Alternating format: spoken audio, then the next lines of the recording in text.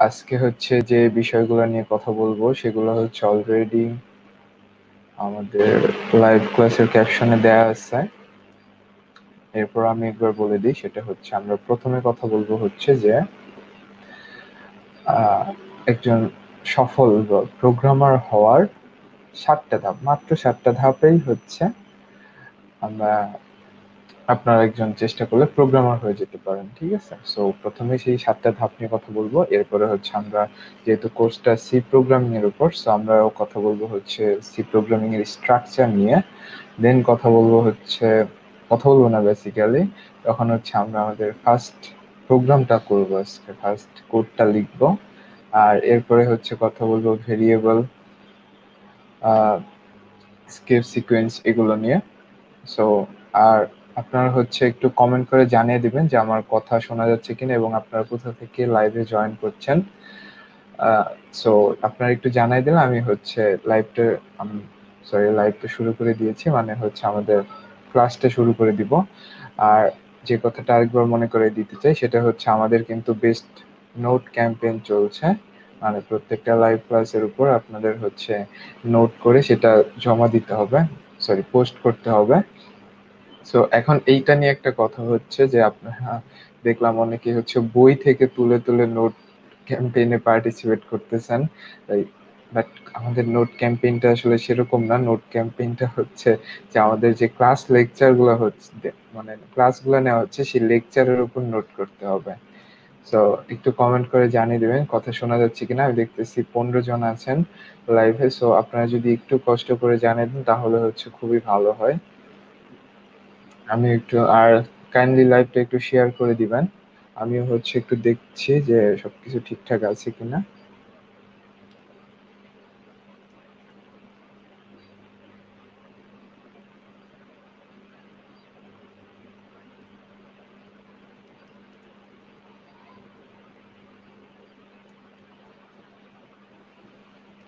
ওকে আমরা আমাদের লাইভ শুরু করি, আর দেরি না করে।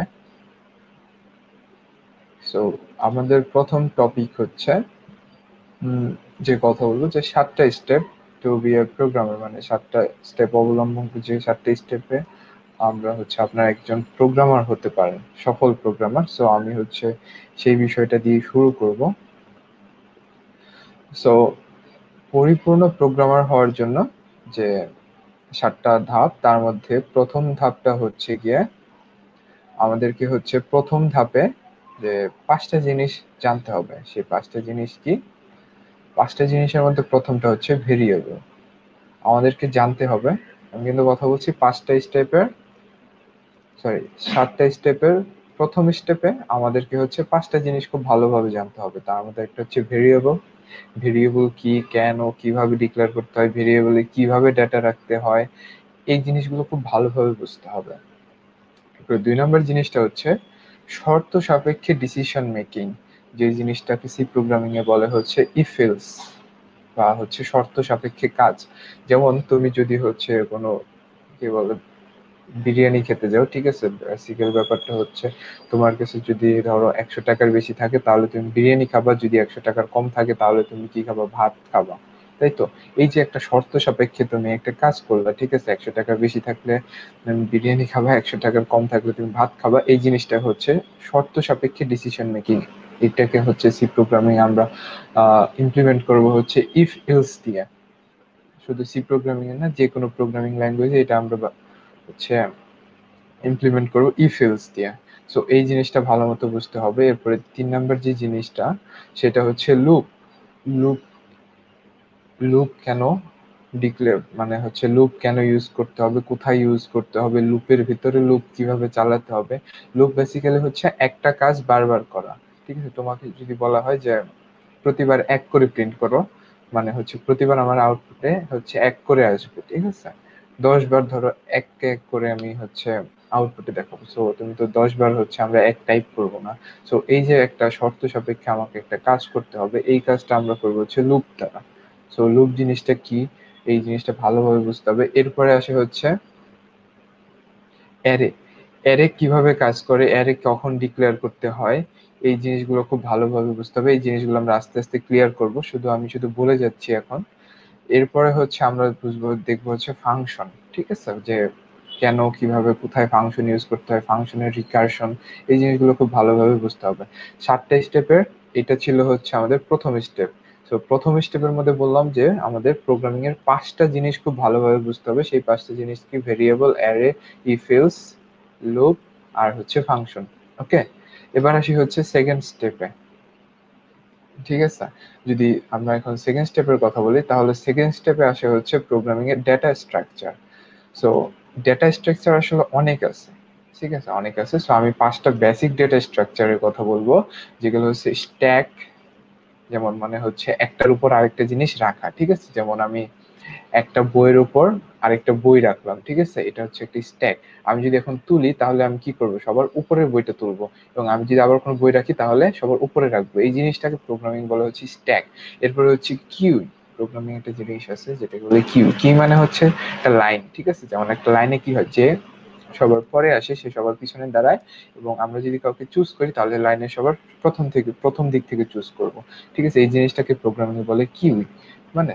সো এই ডেটা স্ট্রাকচারগুলো হচ্ছে, এরপরে আরেকটা ডেটা স্ট্রাকচার হচ্ছে লিঙ্কড লিস্ট ঠিক আছে? মানে একটার সাথে আরেকটা কানেক্ট কীভাবে করব আমরা? মানে একটা অ্যাড্রেস মেমোরি অ্যাড্রেসের একটা পোর্শনের সাথে আরেকটা পোর্শন আমরা কীভাবে কানেক্ট করব? এই জিনিসটাকে বলে লিঙ্ক লিস্ট এরপরে আসে হচ্ছে হ্যাশ টেবল হ্যাশ টেবল জিনিসটা কি? ধরো আমরা যদি আমাদের ফোনের ফোন বুকে হচ্ছে আমরা কোনো নাম সার্চ দিই এ লিখি, তাহলে কিন্তু এ দিয়ে যতগুলো নাম আছে সব নাম চলে আসে, তাই না? বা সাজেশন দেখে আমরা যদি এরপরে বি লিখি, তাহলে এ, বি, এর এই রকম যতগুলো নাম আছে সবগুলো আমাদের সাজেস্ট করে। এই সাজেশনগুলো কীভাবে আসে? এর পিছনে বিহাইন্ড দ্য সিন হচ্ছে হ্যাশ টেবল সো এই হ্যাশ টেবল জিনিসটা তোমাকে খুব ভালোভাবে বুঝতে হবে। এরপরে আসে হচ্ছে ট্রি ডেটা স্ট্রাকচার ট্রি কি? যেমন হচ্ছে তোমার দাদা, তারপর তোমার বাবা, তারপরে তুমি, তারপরে তোমার ছেলে মেয়ে। এই যে এরা হচ্ছে একটার পর একটা যেভাবে আসে, এরা হচ্ছে একটা ট্রি ঠিক আছে? এই ট্রি ডেটা স্ট্রাকচারটা খুব ভালোভাবে বুঝতে হবে। আচ্ছা এটা হচ্ছিল হচ্ছে আমাদের সাতটা স্টেপের সেকেন্ড স্টেপ সেকেন্ড স্টেপে তোমাকে এই জিনিসগুলো বুঝতে হবে মানে হচ্ছে ডেটা স্ট্রাকচার ডেটা স্ট্রাকচার মানে আমি পাঁচটা ডেটা স্ট্রাকচারের কথা বললাম, সেগুলো হচ্ছে একটা stack queue link list hash table এবং ট্রি ওকে এরপর তিন নাম্বার তিন নাম্বার স্টেপটা হচ্ছে প্রবলেম সলভিং বা অ্যালগোরিদম মানে একটা প্রবলেম সলভিং এর জন্য তোমাকে বিভিন্ন অ্যালগোরিদম শিখতে হবে, ঠিক আছে? অ্যালগোরিদম কেন শিখব? আমরা কিন্তু একটা প্রবলেমকে অনেকভাবে সলভ করা যায়, ঠিক আছে? বাট তোমাকে বুঝতে হবে কোন কোন অ্যালগোরিদমে সলভ করলে অ্যালগোরিদম বা সুডোকোড যেটা হচ্ছে মানে আমাদের একটা প্রবলেম সলভ করার স্টেপ বর্ণনা করি আমরা, ঠিক আছে? সো এই সুডোকোডগুলো তোমাকে বুঝতে হবে যে কোন অ্যালগোরিদমে কাজ করলে আমার টাইম কম লাগতেছে প্রোগ্রামটা কম্পাইল হতে রান করতে কম লাগতেছে, আবার কোনটা বেশি লাগতেছে, কোনটা ইফিসিয়েন্স কোনটা ইফিসিয়েন্ট এই জিনিসগুলো বুঝতে হবে এবং তোমাকে ইফিসিয়েন্ট অ্যালগোরিদম ইউজ করতে হবে, ঠিক আছে? অ্যালগোরিদমের মধ্যে হচ্ছে আছে যেমন greedy algorithm sorting algorithm bubble sorting sorting অ্যালগোরিদমের মধ্যে আবার আছে হচ্ছে bubble sort quick sort counting sort merge sort insertion sort এরপরে আসে হচ্ছে আমাদের যেমন সার্চিং অ্যালগোরিদম আছে বিভিন্ন রকম, ঠিক আছে? সার্চিং অ্যালগোরিদমের মধ্যে হচ্ছে দুইটা অ্যালগোরিদম খুব বেশি জনপ্রিয়, একটা হচ্ছে লিনিয়ার সার্চ ঠিক আছে? যেমন ধরো আমার এক থেকে পাঁচশো পর্যন্ত হচ্ছে একটা সংখ্যার লিস্ট আছে, আমি সেখান থেকে পঞ্চাশ খুঁজে বের করব। তাহলে আমি কি করব? যে এক দুই, তিন, এভাবে একটা একটা করে আগাইতে থাকব, তাই না? তাহলে আমাকে কি পঞ্চাশ খুঁজে বের করতে হলে আমাকে মিনিমাম পঞ্চাশ বার খুঁজতে হবে, তাই না? এখন যদি আমি একশো খুঁজি, তাহলে কিন্তু আমাকে একশো বার খুঁজতে হচ্ছে। সো এরপরে আছে হচ্ছে বাইনারি সার্চ সো বাইনারি সার্চে কি হয়? যেমন বাইনারি সার্চে কিন্তু আমাদের একশোটা সংখ্যা থাকলে আমাদের একশো খোঁজার জন্য একশো বার খুঁজতে হবে না, ঠিক আছে? আমরা যদি log two to the power একশো দিই, তাহলে যত আসবে আমাদের মানে হচ্ছে একশোর লক ভিত্তিক করলে যেটা আসবে, এখানে হচ্ছে লক টু টু দি একশো করলে যেটা আসবে সাত, সাতের মতো আসে, মনে হয়। তো দেখো সাত বা আটের মতো আসবে। সো আমার মাত্র সাতবার খুঁজলে কিন্তু হয়ে যাচ্ছে। তার মানে দেখো আমরা যে প্রথমে যেভাবে খুঁজলাম, এক, এরপরে দুই, তিন, এভাবে যে খুঁজে খুঁজে গেলাম, তাহলে সেটার চেয়ে কিন্তু আমাদের বাইনারি সার্চ অ্যালগোরিদমটা হবে আরও বেশি এফিসিয়েন্ট সো এই অ্যালগোরিদমগুলো শিখতে হবে। এরপরে আসে হচ্ছে ডাইনামিক প্রোগ্রামিং অ্যালগোরিদম সো এই জিনিসগুলো জানতে হবে। সো আমাদের হচ্ছে এই যে প্রোগ্রামিং শেখার যে তৃতীয় ধাপ, এই তৃতীয় ধাপটা হচ্ছে আমাদের অ্যালগোরিদম শেখাটা এবং এই অ্যালগোরিদম শিখে তোমাকে হচ্ছে প্রবলেম সলভিং করতে হবে। এবং চার নাম্বার যে স্টেপ সেখানে হচ্ছে হচ্ছে তোমাকে অবজেক্ট ওরিয়েন্টেড প্রোগ্রামিংটা বুঝতে হবে। মানে ওপিপি অবজেক্ট কি অবজেক্টের ক্লাস কি ইনহেরিটেন্স কি? এগুলো হচ্ছে অনেক হাই লেভেলের জিনিস মানে যদিও আমাদের ইন্টারমিডিয়েট সিলেবাসে আওতাভুক্ত না এবং আমরা এগুলো এই কোর্সে পড়াবো না সো আমি শুধু বলে দিচ্ছি যে আমরা অনেক সময় একজন প্রোগ্রামার হওয়ার রোড ম্যাপটা বুঝি না মানে আমি কতটুকু জানলে আমি একজন নিজেকে প্রোগ্রামার হিসেবে দাবি করতে পারব সেই জিনিসটা বুঝি না। সো সেইটা বোঝার জন্য আমি হচ্ছে শুরুতে তোমাদের এতটুকু বুঝাই দিচ্ছি রোড ম্যাপটা বলে দিচ্ছি যে আমাদের কি কি জানতে হবে। সো যেটা বললাম যে আমাদের হচ্ছে চার নাম্বার স্টেপে এসে অবজেক্ট ওরিয়েন্টেড অবজেক্ট ওরিয়েন্টেড প্রোগ্রামিংটা বুঝতে হবে এটা শিখতে হবে। এরপরে পাঁচ নাম্বার স্টেপে এসে হচ্ছে ডাটাবেস সম্পর্কে জানতে হবে। হ্যাঁ আমি একটা ডাটাবেসে ডাটা রাখব, সেইখান থেকে ডাটা নিব ইনসার্ট করব, ঠিক আছে? এই কাজগুলো প্রোগ্রামিং এ কীভাবে করব সেটা বুঝতে হবে।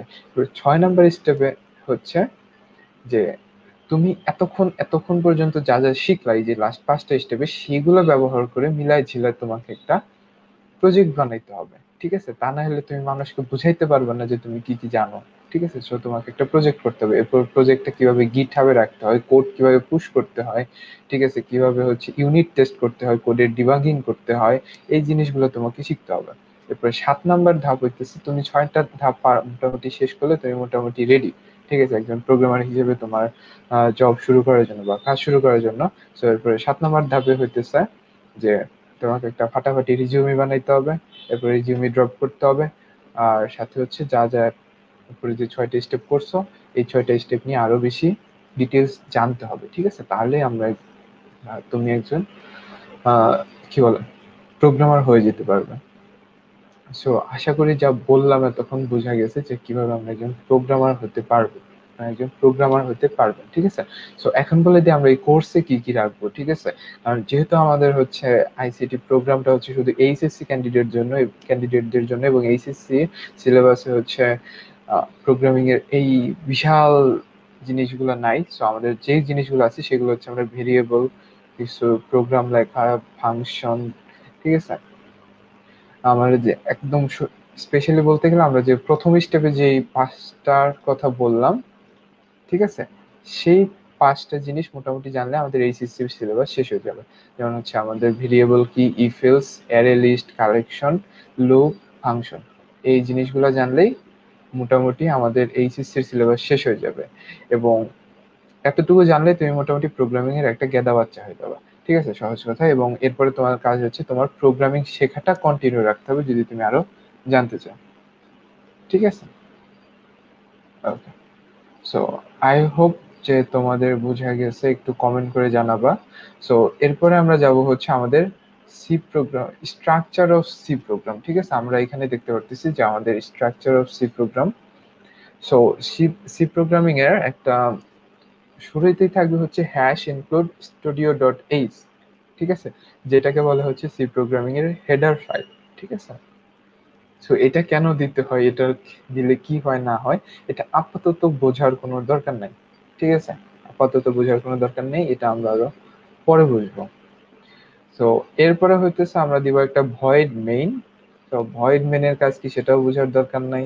এরপরে দিবা হচ্ছে দুইটা সেকেন্ড ব্র্যাকেট এবং এই দুইটা সেকেন্ড ব্র্যাকেটের মধ্যে আমরা লিখব আমাদের প্রোগ্রাম এবং এই পার্টটুকুকে এই যে আমার হচ্ছে যে মার্ক করা বক্সটুকু এখানে আমরা লিখব হচ্ছে আমাদের মেইন প্রোগ্রাম এবং এইটুকুকে আমরা বলব হচ্ছে আমাদের প্রোগ্রাম স্টেটমেন্ট ওকে সো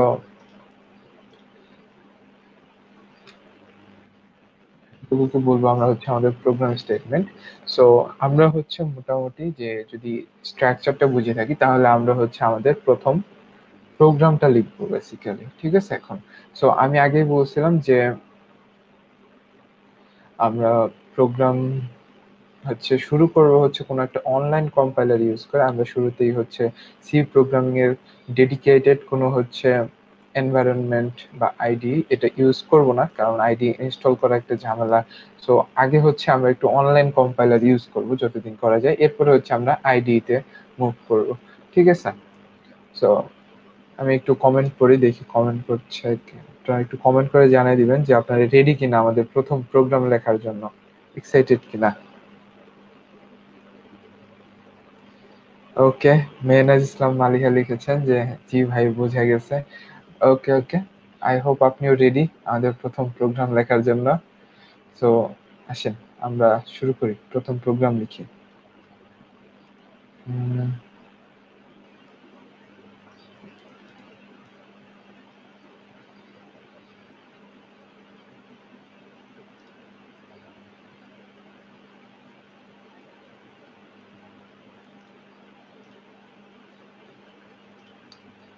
আমি হচ্ছে আমার স্ক্রিনটা শেয়ার দিচ্ছি।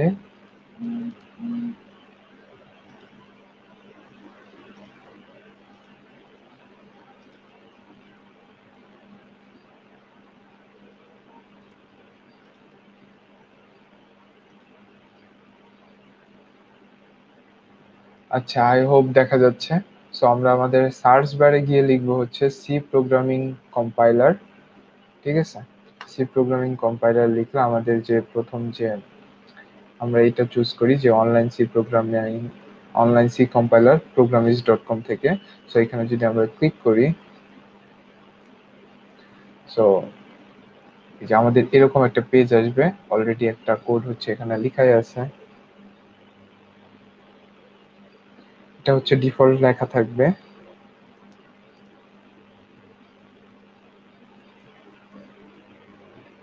দেখি হচ্ছে আমাদের। কি কমেন্ট করছেন? আপনারা একটু হচ্ছে জানাবেন, আপনারা হচ্ছে এই পর্যন্ত আসতে পারছেন কিনা? তাহলে হচ্ছে আমরা আমাদের প্রথম প্রোগ্রাম লেখাটা শুরু করব।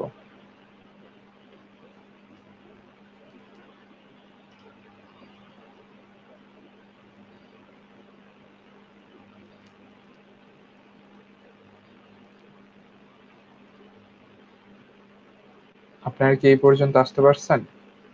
এই পেজটা।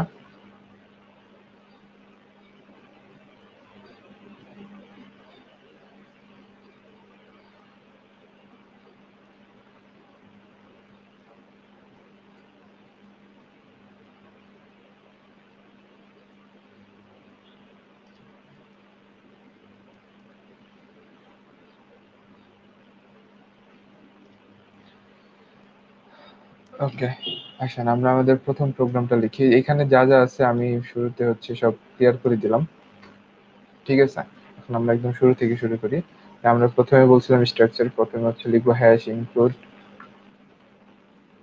studio dot is এরপরে কি বলছিলাম? আমরা লিখব ভয়েড মেইন ভয়েড ঠিক তো। এরপরে বলছিলাম দুইটা হচ্ছে ব্র্যাকেট দিবেন। ব্র্যাকেটের মাঝখানে হচ্ছে আমরা আমাদের কোড লিখব, তাই তো? দেখা যাচ্ছে কি ঠিক মতো?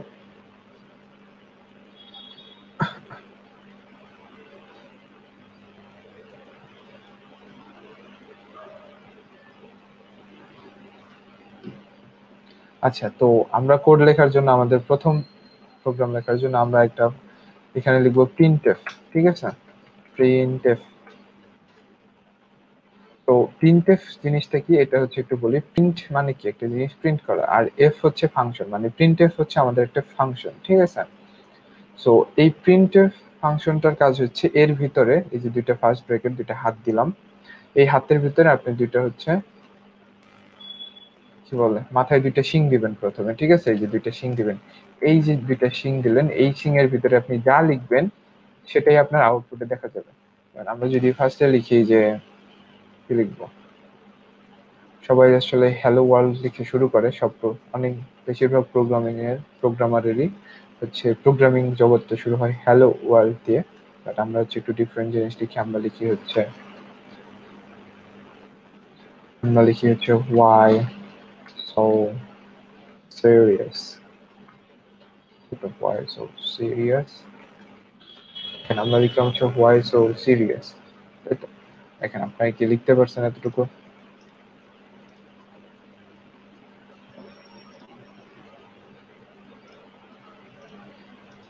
তো এখন এতটুকু লেখা হয়ে গেলে আমরা যেটা করতে পারি যে এখানে রান বাটন আছে একটা, এখানে আমরা একটা ক্লিক করি।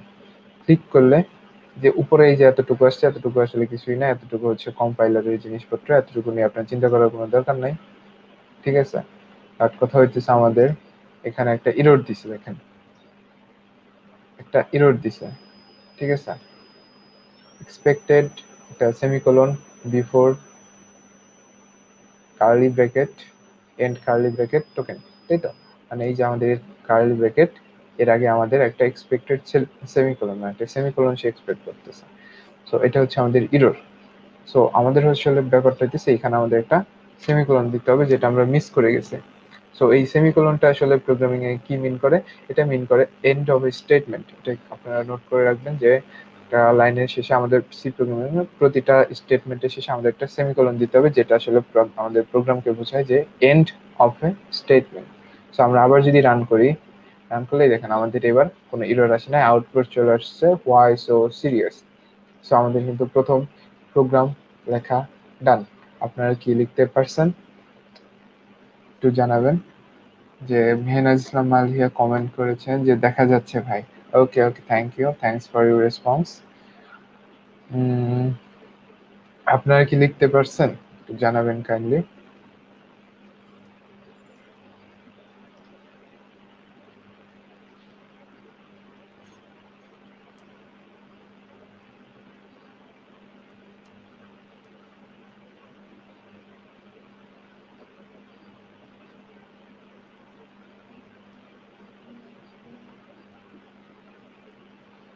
আচ্ছা এখন ধরেন আমি এই প্রিন্ট স্টেটমেন্টের ভিতরে অন্য কিছু লিখলাম, ঠিক আছে? যে দুইটা সিং রেখে আমি বাকিটুকু ব্যাক স্পেস করে দিলে আমি হচ্ছে, ধরেন এখানে লিখলাম যে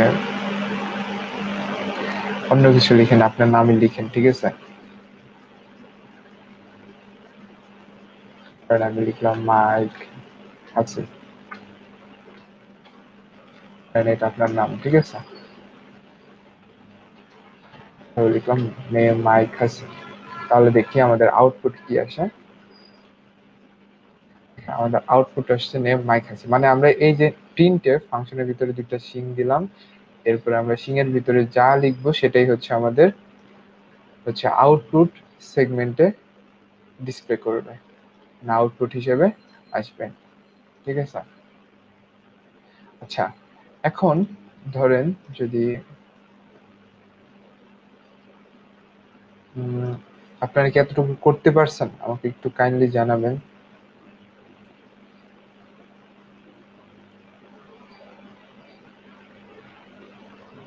সো আমরা আমাদের পরের কাজটুকু করি। আমরা ধরেন, এখন আমরা এভাবে প্রিন্ট দিলাম।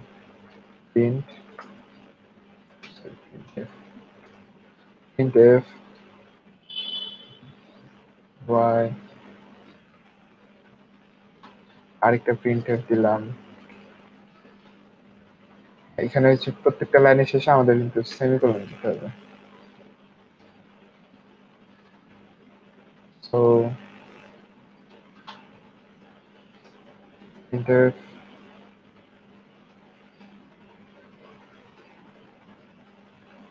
serious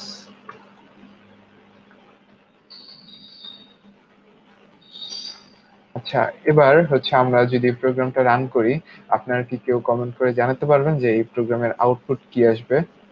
একটু যদি কেউ পারেন তাহলে কমেন্ট করে আমাদের জানান যে এই প্রোগ্রামটার আউটপুট কি আসবে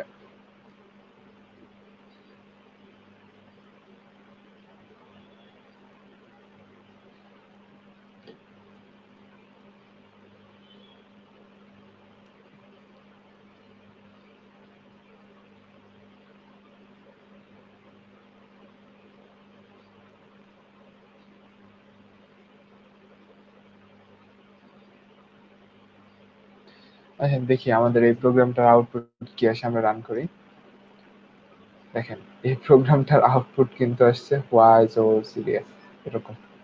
মানে প্রত্যেকটা শেষে আমাদের কিন্তু কোনো স্পেসও আসে না, ঠিক আছে? আমাদের হচ্ছে স্পেসও আসে না। বাট আমাদের কিন্তু এক্সপেক্টেড আউটপুট কীরকম ছিল? আমরা কিন্তু ভাবছিলাম যে কেমন আসবে আউটপুটটা যদি আমি এখানে দেখাই, যে আমরা ভাবছিলাম প্রথমে এভাবে লিখছিলাম জিনিসটা যে ওয়াই সো সিরিয়াস বাট আমাদের আউটপুটটা কিন্তু এরকম হয় নাই, তাই তো? সো এর রিজনটা আসলে কি? এর কারণ কি?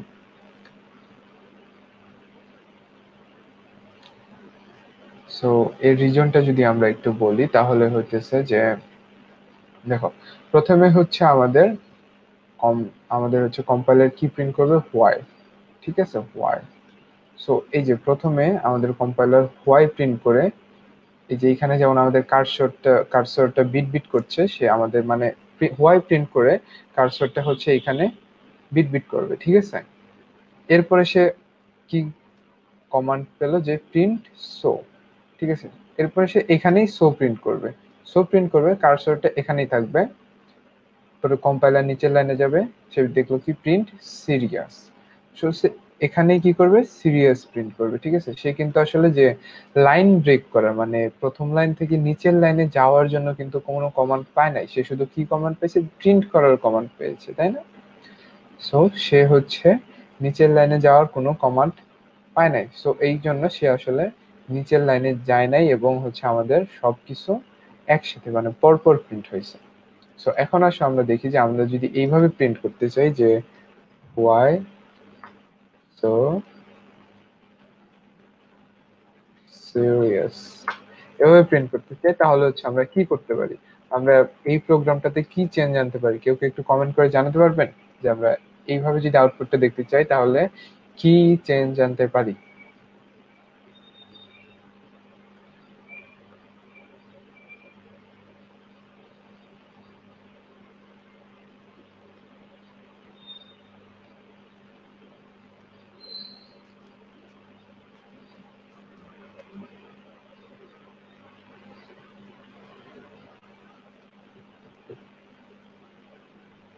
আসেন দেখি আমরা এখানে কি করতে পারি। আপনারা কিছু বুঝবেন আর না বুঝেন, না বুঝে হইতেছে এরকম নেন ব্যাক স্ল্যাশ এন সবগুলোর সাথে ব্যাক স্ল্যাশ এন এরকম দিবেন এটাও দিতে পারেন, কোনো সমস্যা নেই, এটা না দিলেও হবে। ব্যাক স্ল্যাশ এন এরকম দিয়ে দেন। ঠিক আছে? বুঝেন আর না বুঝেন, একটু পরে বুঝাচ্ছি, আপাতত দিয়ে দেন back slash N so back slash N দিয়ে দেওয়ার পরে এখন রান করে দেখেন। আমাদের প্রোগ্রামে কি বলছে? ও আচ্ছা আমরা এই যে এই তিনটে জিনিস তো হচ্ছে আমাদের কাটতে হবে। দেখেন, এবার কিন্তু হচ্ছে আমাদের এক্সপেক্টেড আউটপুট চলে আসছে। হোয়াই সো সিরিয়াস ঠিক আছে? সো এটা কেন আসলে? আসলে এবার এটা বুঝাই। দেখেন, যখন সেই যে বললাম যে হোয়াই প্রিন্ট করার পরে কারসরটা যখন এখানে বিট বিট করবে, এখানে, তখন সে দেখল এখানে একটা ব্যাকস্ল্যাশ এন এই কমান্ডটার মানে এতটুকুর মানে হচ্ছে তুমি, আমরা কম্পাইলারকে বলছি তুমি নেক্সট লাইনে যাও মানে পরের লাইনে যাও। সো সে পরের লাইনে আসলো। পরের লাইনে আসার পরে দেখল যে সে সে হচ্ছে তখন সো প্রিন্ট করল। এরপরে আবার দেখল হচ্ছে পরের লাইনে যাওয়ার জন্য একটা কমান্ড ব্যাকস্লেশন এরপর সে আবার পরের লাইনে আসলো সিরিয়াস প্রিন্ট করল, এরপর দেখল আবার ব্যাকস্লেশন মানে আসলে আমাদের কার্সরটা এখন আছে এইখানে। ঠিক আছে? কার্সরটা এখন আছে এইখানে। সো যদি আমি হচ্ছে এই ব্যাকস্ল্যাশ এন্টার না দিই, তাহলে কি হবে? তাহলে আমাদের আউটপুট কিন্তু এরকমই আছে। দেখেন, এখন কার্সরটা হচ্ছে সিরিয়াসের পাশে আছে। ঠিক আছে? বাট আমি যদি এখন ব্যাকস্ল্যাশ এন দিয়ে দিই, তাহলে দেখেন আমার কার্সরটা হচ্ছে এইখানে, নিচে থাকবে। আচ্ছা ব্যাকস্ল্যাশ এনটা আমি দিই না। ব্যাকস্ল্যাশ এন দিয়ে রান করি, তাহলে দেখেন আমাদের কার্সরটা নিচের লাইনে চলে আসছে। তার মানে এই যে আমরা একটা ব্যাকস্ল্যাশ এন দিলে আসলে কি বোঝা যায় যে, আমরা তাকে কমান্ড দিতেছি যে, সে যেন পরের লাইনে যায়। ঠিক আছে? সো এতটুকু এই যে ব্যাকস্ল্যাশ এন এই জিনিসটাকে বলে যে স্কেপ সিকোয়েন্স এটা কিন্তু এইচএসসি তে হচ্ছে। এইচএসসি লেভেলে বিভিন্ন পরীক্ষায় প্রচুর আসে যে স্কেপ সিকোয়েন্স এগুলো নিয়ে বেশ কয়েকটা আমি হচ্ছে এই যে আজকে বললাম যে স্কেপ সিকোয়েন্স নিয়ে কথা বলব। আরও কয়েকটা স্কেপ সিকোয়েন্স নিয়ে কথা বলব। তার মধ্যে একটা হচ্ছে এই ব্যাকস্ল্যাশ এন ঠিক আছে? এটা একটু আপনারা মাথায় রাখবেন যে ব্যাকস্ল্যাশ এন হইতেছে একটা স্কেপ সিকোয়েন্স সো এই সেম আউটপুটটা আমরা হচ্ছে আরেকভাবে আনতে পারি। আচ্ছা সেটা দেখি। সেজন্য আমি হচ্ছে দুইটা প্রিন্ট মুছে দিলাম।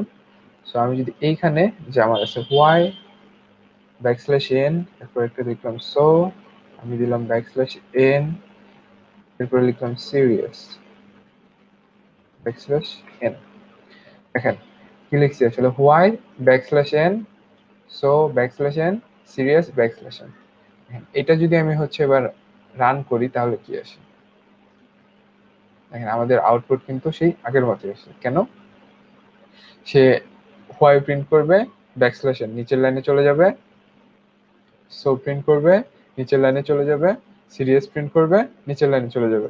দেখেন, সেই জন্য আমাদের কার্সরটা এখন এখানে আছে। ঠিক আছে? মানে আমরা এক লাইনেও প্রিন্টার করতে পারতাম। ঠিক আছে? ওকে আসেন। এবার আরেকটা জিনিস দেখি। আপনারা কি আমার সাথে আছেন? মানে হচ্ছে আপনারা এতটুকু আসতে পারছেন কিনা, করতে পারছেন কিনা? একটু জানাবেন যে আপনারা ঠিকঠাক মতো আছেন কিনা ট্র্যাকে আছেন কিনা এখন পর্যন্ত। একটু দেখি, আপনারা কেউ কি আছেন কিনা বলতেছেন কিনা?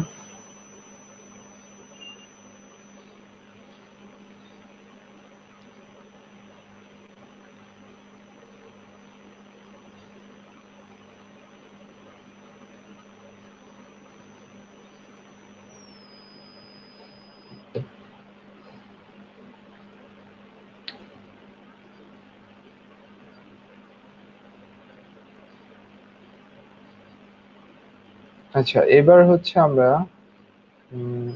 আরেকটা কাজ করি, সেটা হচ্ছে যে কিছু বুঝে আর না বুঝে, এখানে ধরেন আমরা হচ্ছে একটা ব্যাক স্ল্যাশ টি দিই, ঠিক আছে? দেখি এখন আউটপুটটা কেমন আছে। কিছুই হয় নাই, যাই হোক।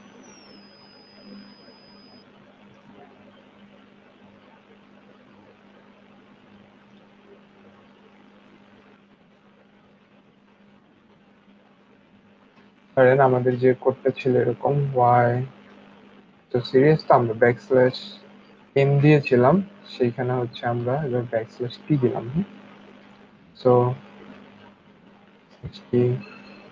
সিরিয়াস এবার দেখি হচ্ছে আমাদের আউটপুট কেমন হয়।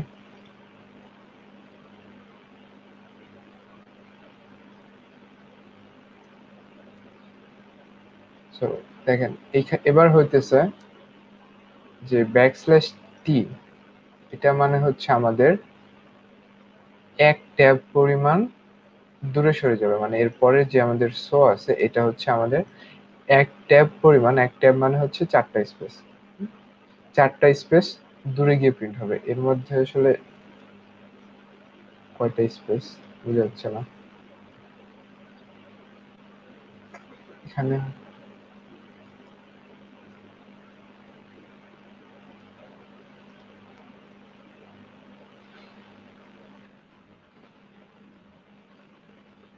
এই যে টি টি হচ্ছে যদি আমরা এখানে ইউজ করি, তাহলে হচ্ছে পরে আমাদের যেটা প্রিন্ট করার কমান্ড সেটা হচ্ছে এক ট্যাব পরিমাণ দূরে গিয়ে প্রিন্ট হবে।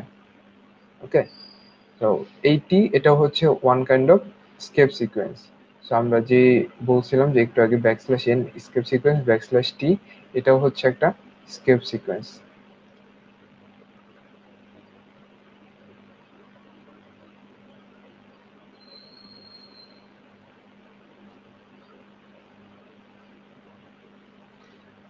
আচ্ছা এরপরে হচ্ছে আমরা মোটামুটি হচ্ছে আমাদের প্রথম প্রোগ্রাম করতে পারছি এবং প্রথম প্রিন্ট করতে পারছি। যাক আমাদের প্রথম প্রোগ্রাম লেখা শেষ। সো এরপরে হচ্ছে আমরা একটু কথা বলব হচ্ছে ভেরিয়েবল নিয়ে, ঠিক আছে? যেহেতু আমরা আমরা হচ্ছে আমাদের পরের প্রোগ্রাম লেখার জন্য ভেরিয়েবল ইউজ করব সো এর আগে আমাদের একটু জানতে হবে যে ভেরিয়েবল জিনিসটা কি। সো আমি হচ্ছে আবার একটু স্লাইড শেয়ার করি।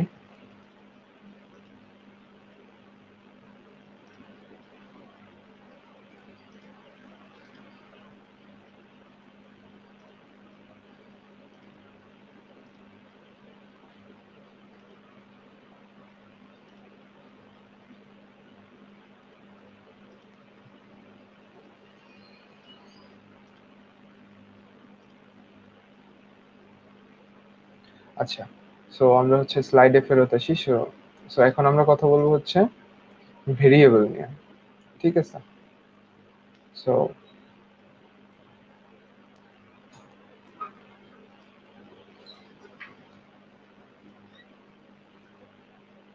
আচ্ছা একজন কমেন্ট করেছেন, ভাই screen zoom in zoom out করে দেখালে ভালো হতো। ওকে হ্যাঁ আমরা এর পরের বার চেষ্টা করব screen zoom in zoom out করে দেখার। তো দেখি আপনার কি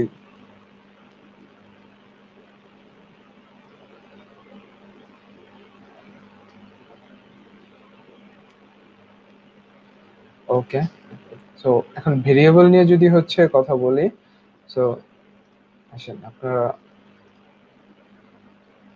ভেরিয়েবল কি জিনিস হ্যাঁ? ভেরিয়েবল কি জিনিস?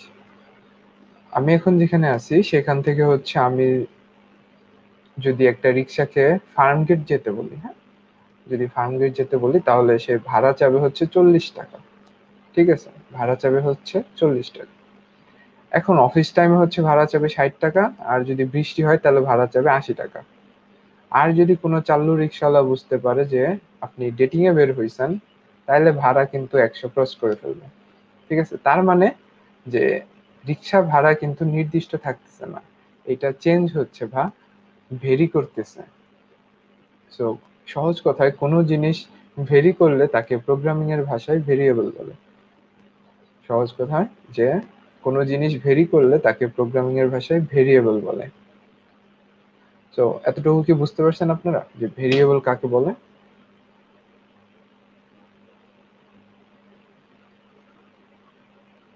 দেখি। আচ্ছা।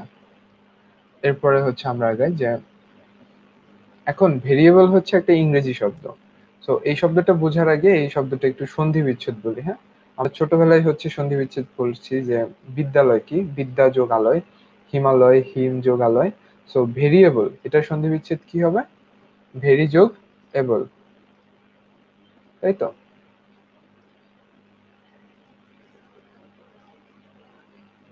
আচ্ছা। ভেরিয়েবলের সন্ধি বিচ্ছিত হবে ভেরি যোগ এবল। ভেরি মানে কি? যেটা হচ্ছে ভেরি করা, ভেরি করে যা বা চেঞ্জ হয়। আর এবল মানে হচ্ছে যোগ্য বা হতে পারে। তার মানে ভেরিয়েবল মানে হচ্ছে ভেরি করার যোগ্য বা চেঞ্জ হতে পারে। যেমন উদাহরণ হিসেবে আমরা বললাম যে রিক্সা ভাড়া, তাই তো? সো তার মানে আমি আবার একটু হচ্ছে সামারি করতেছি যে ভেরিয়েবল কি জিনিস ছিল? ভেরিয়েবল জিনিস হচ্ছে প্রোগ্রামিং এর সেই জিনিস যেটা হচ্ছে ভেরি করতে পারে বা ভেরি করার যোগ্য, অর্থাৎ যেটা পরিবর্তন হয়। তো ভেরিয়েবল বলতে হচ্ছে আপাতত এতটুকু বুঝলেই হবে, এরপরে বাকিটুকু হচ্ছে আমরা প্রোগ্রাম লিখতে লিখতে বুঝে ফেলব। সো আজকে হচ্ছে আমরা মোটামুটি ক্লাসের শেষের দিকে সো আমি হচ্ছে আরেকবার একটু সামারি করে দিই যে আজকে কি কি নিয়ে কথা বললাম, সেটা হচ্ছে যে প্রথমে কথা বলেছি পরিপূর্ণ প্রোগ্রামার হওয়ার জন্য যে আমাদের সাতটা স্টেপ ফলো করতে হবে। তো এরপরে হচ্ছে আমরা হচ্ছে আমাদের সি প্রোগ্রামিং এর স্ট্রাকচার দেখেছি দেন হচ্ছে আমাদের প্রথম প্রোগ্রাম লিখেছি আজকে। আর এরপর হচ্ছে আমরা জানলাম হচ্ছে ভেরিয়েবল কি। সো নেক্সট ক্লাসে হচ্ছে আমরা এই ভেরিয়েবল ব্যবহার করে আমরা প্রোগ্রামিং শুরু করব। অর্থাৎ আমাদের তিন নাম্বার ক্লাস থেকে হচ্ছে আমরা মোটামুটি প্রোগ্রামিং এর বলতে পারেন যে একটু ডেপথে প্রোগ্রামিং শুরু করব। ঠিক আছে? সো আজকের ক্লাস হচ্ছে এত এতটুকুই। ধন্যবাদ সবাইকে।